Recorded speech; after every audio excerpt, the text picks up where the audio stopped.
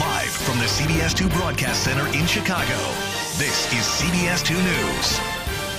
Good Sunday evening. I'm Chris Tye. Jim Williams has the night off. It is one of the most iconic names in the Chicago food scene. The grills at Lawry's, the prime rib, will be turned off for good at the end of the year. For 46 years, the Magmile staple has served up special occasion meals.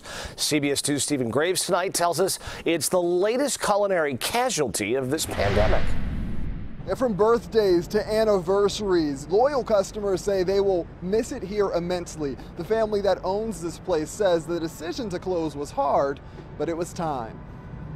For close to half a century, 46 years, Lawry's, the prime rib restaurant, has been a staple in downtown Chicago.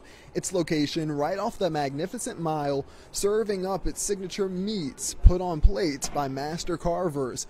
A business passed down from generation to generation the Chicago location part of the president and CEO Ryan Wilson's fondest memories. Just remember um, coming into the city, my first time to Chicago, my first time to Lawry's, and the immediate warmth I felt from our coworkers.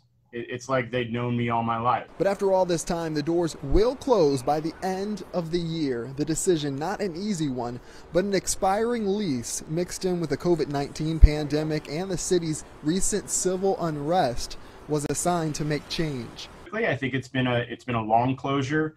I think it's been compounded by all the very disturbing um, social unrest and protests in the city, and that's impacted our business. But I I think that one also it just has really impacted my concern for the safety of our coworkers. The business that occupies the McCormick Mansion will still host special events over the next few months. Wilson says while the lights go dim here, things might come back at another home in Chicago down the line. I want to be part of the dining culture.